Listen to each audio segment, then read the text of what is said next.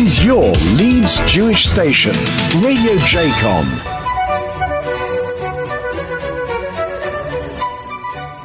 Hello, my name is Candace Grant. I would like to welcome you to Poets Corner on Radio JCOM. Now then, today's first poem is by Harryette Mullen. You are a ukulele beyond my microphone. You are a Yukon beyond my Micronesia. You are a union beyond my meiosis. You are a unicycle beyond my migration. You are a universe beyond my mitochondria. You are a Eucharist beyond my Miles Davis. You are a euphony beyond my myocardiogram. You are a unicorn beyond my minotaur. You are a you, you, you are a eureka beyond my mitai. You are a yuletide beyond my minesweeper. You are a euphemism beyond my myna bird. And my second poem today is Atlas by U. A. Fanthorpe.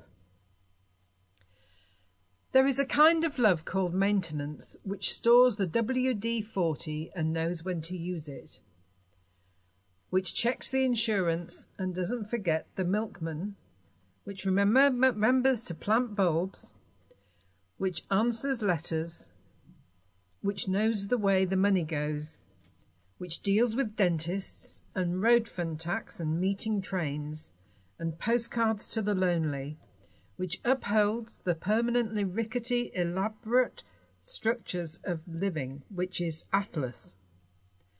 And maintenance is the sensible side of love, which knows what time and weather are doing to my brickwork, insulates my faulty wiring, laughs at my rotten jokes, remembers my need for gloss and grouting, which keeps my suspect edifice upright in air as Atlas did the sky. Now we have When You Come by the wonderful poet Maya Angelou. When you come to me unbidden, beckoning, beckoning me to long away rooms where memories lie, offering me as to a child an attic, gatherings of day, days too few, baubles of stolen kisses, trinkets of borrowed loves, trunks of secret words. And next poem is Sonnet 29 by William Shakespeare. When in disgrace with fortune and men's eyes, I all alone beweep my outcast state, and trouble deaf heaven with my bootless cries, and look upon myself and curse my fate, wishing me like to one which rich in hope, featured like him, like him with friends possessed, desiring this man's art and that man's scope, with what I most enjoy contented least. Yet in these thoughts myself, myself almost despising, Haply I think on thee, and then my state, like to the lark at break of day arriving from sullen earth, sings hymns at heaven's gate. For thy sweet love remembered such wealth brings, then I scorn to change my state with kings. And then my next poem is by Christopher Poindexter. Whenever I am away from you, the distance between us a burden, burdensome thing. I always think of you in colours, the fresh, the smell of coffee, as you so proudly make it for me, the perfect sunlight spilling through the window. I miss you even when you are beside me. I dream of your body even when you are sleeping in my arms. The words I love you could never be enough. I suppose we'll have to invent new ones. And next we have It Is Here by Harold Pinter. What sound that? I turn away into the shaking room. What was that sound that came in on the dark? What is this maze of light it leaves us in? What is this stance we take? To turn away and turn back. What did we hear? It was the breath we took when we first met. Listen, it is here.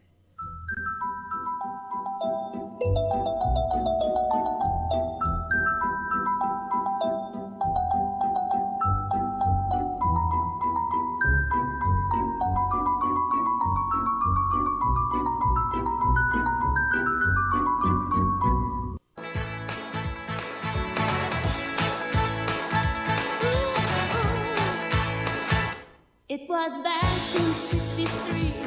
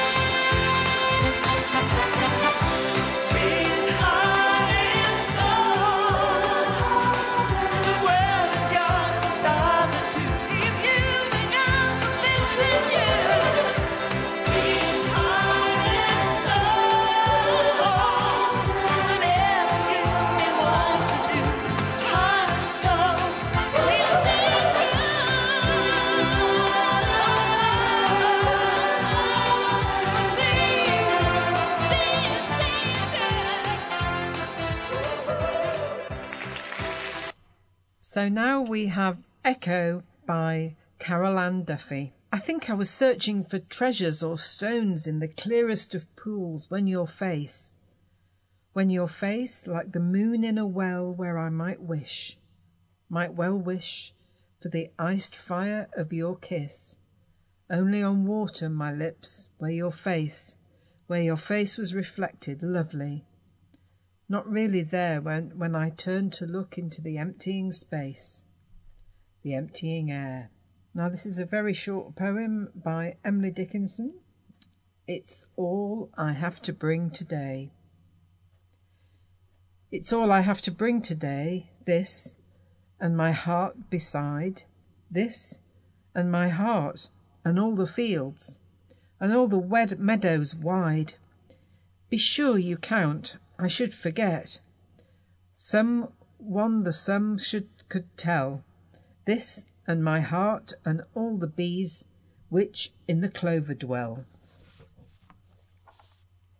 Now then, this is one of my favourite poems by my favourite poet, Roger McGough. This is Good Night, Good Bat, Night Man. God bless all policemen and fighters of crime. May thieves go to jail for a very long time. They've had a hard day helping clean up the town. Now they hang from the mantelpiece, both upside down. A glass of warm blood, then straight up the stairs. Batman and Robin are saying their prayers. They've locked all the doors and they've put out the bat. Put on their bat jammers, they like doing that. They filled their bat water bottles, made their bat beds with two springy mattress mattresses for sleepy bat heads. They're closing red eyes, they're counting black sheep. Batman and Robin are falling asleep. And here is a poem by Brian Patten, which is And Nothing is Ever as You Want It to Be. You lose your love for her, and then it's her who is lost. And then it is both who are lost. And nothing is ever as perfect as you want it to be. In a very ordinary world, a most extraordinary pain mingles with small routines the loss seems huge, and yet nothing can be pinned down or fully explained. You are afraid. If you found the per- perfect love, it would scald your hands, rip the skin from your nerves, cause havoc with a computed heart. You lose your love for her, and then it is her who is lost. You try not to hurt, and yet everything you touched became a wound. You tried to mend what cannot be mended. You tried, neither foolish nor cl- clumsy, to rescue what cannot be rescued. You failed. And now she is elsewhere, and her night and your night are both utterly drained. How easy it would be if love could come home like a lost kitten, or gathered in like strawberries. Oh, how lovely it would be! but nothing is ever as perfect as you want it to be. Now, then, this is a lovely poem. This is Lines Written in Early Spring by William Wordsworth, who was born in 1770 and passed away in 1850. So he was 70 when he, he died. I heard a thousand blended notes while in a groove I sate reclined, in that sweet mood when pleasant thoughts bring sad thoughts to the mind. To her fair works did nature link the human soul that ran through me, and much it grieved my heart to think what man has made of man. Through primrose tufts in that sweet bower, the periwinkle trailed its wreaths, and 'tis my faith in every flower enjoys the air it breathes. The birds around me hopped and played, their thoughts I cannot measure, but the least motion which they are made is still a thrill of pleasure. The budding twigs spread out their fan to catch the breezy air, and I must think, do all I can, that there was pleasure there. If this belief from heaven sent, if such be nature's holy plan, have I not reason to lament what man has made of man?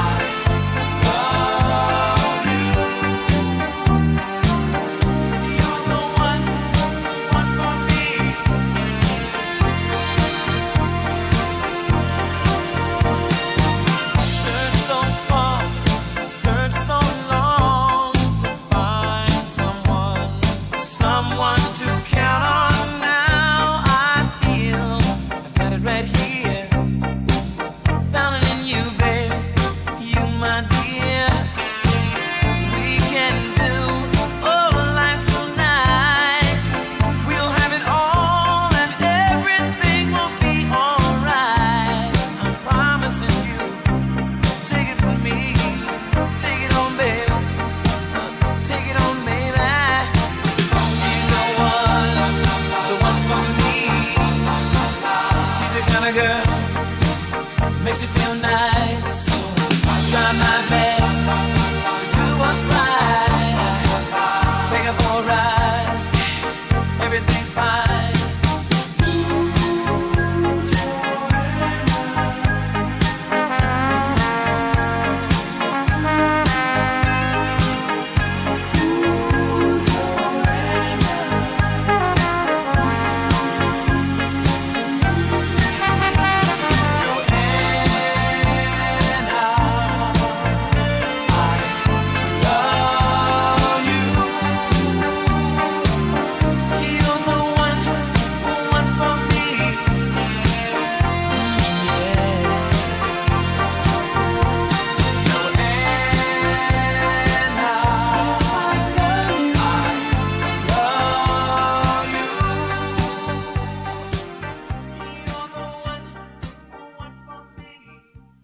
Moving on, this is a poem by Helen Dunmore.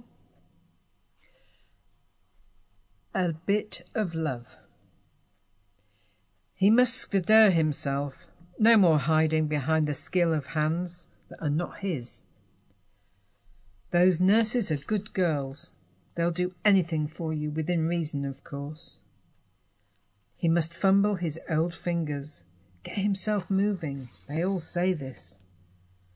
Ambulance bells carouse until he doesn't know where he is, drunk in the street, swaying like holy Moses. That's about the size of it. No one listens. The lamplighter went home years ago. There's no night policeman or dawn milk chink. That stout world is a trinket in the eyes of his grandchildren. His shifts are over. Here's a bit of paper and a book to lean on. What more does he want? In his well taught handwriting, he'll send a bit of love to make her blush.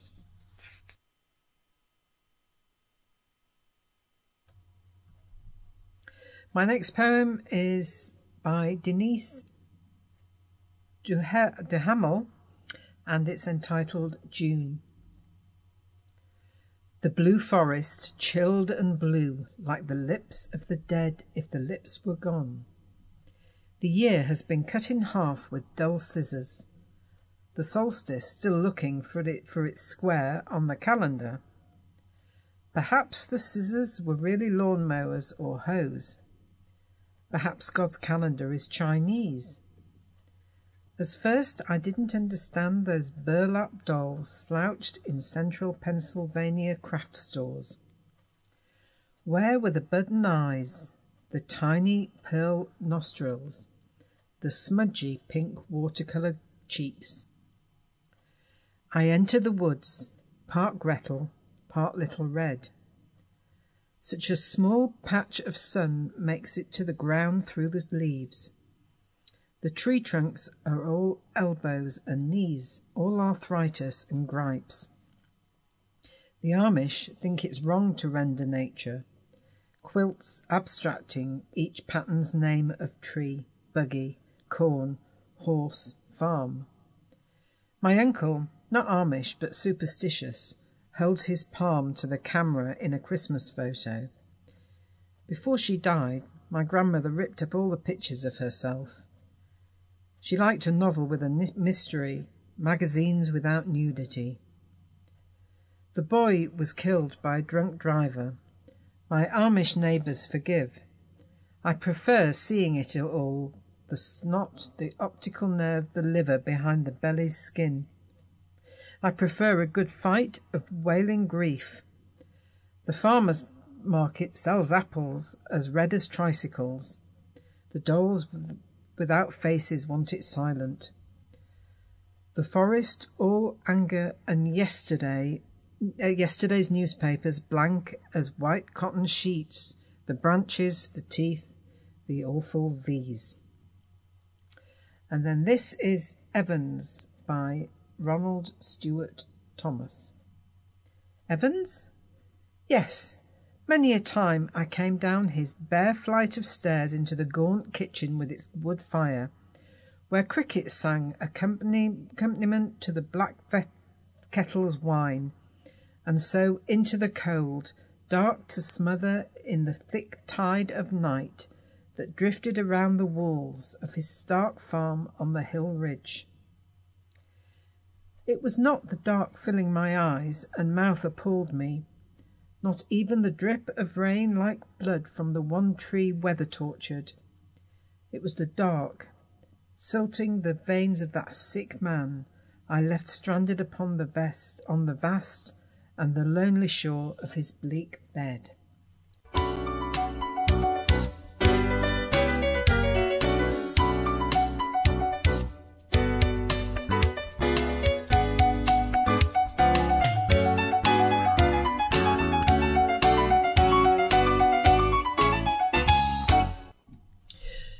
So, you've been listening to Candace Grant and Poets Corner, produced by Noel Sumroy and available on YouTube and on the internet. And to finish off today, I've got a poem by Rudyard Kipling entitled If. If you can keep your head when all about you are losing theirs and blaming it on you, if you can trust yourself when all men doubt you, but make allowance for their doubting true. If you can wait and not be tired by waiting or be lied about, don't deal in lies. Or being hated, don't give way to hating. And yet, don't look too good, nor talk too wise. If you can dream and not make dreams your master, if you can think and not make thoughts of your aim. If you can meet with triumph and disaster and treat those two impostors just the same. If you can bear to hear the truth you've spoken, twisted by knaves to make a trap for fools, or watch the things you've gave your life to broken, and stoop and build 'em, and build 'em up with torn out, worn out tools. If you can make one heap of all your winnings and risk it on one turn of pitch and toss and lose, and start again at your beginnings, and never breathe a word about your loss. If you can force your heart and nerve and sinew to serve your turn long after they are gone, and so hold on when there is nothing in you except the will which says to them, Hold on. If you can talk with crowds and keep your virtue, or walk with kings, not lose the common touch. If neither foes nor loving friends can hurt you, if all the men count with you, but none too much. If you can fill the unforgiving minute with fifty seconds worth of distance run, yours is the earth and everything that's in it. Which is more, you'll be a man my son. Radio J.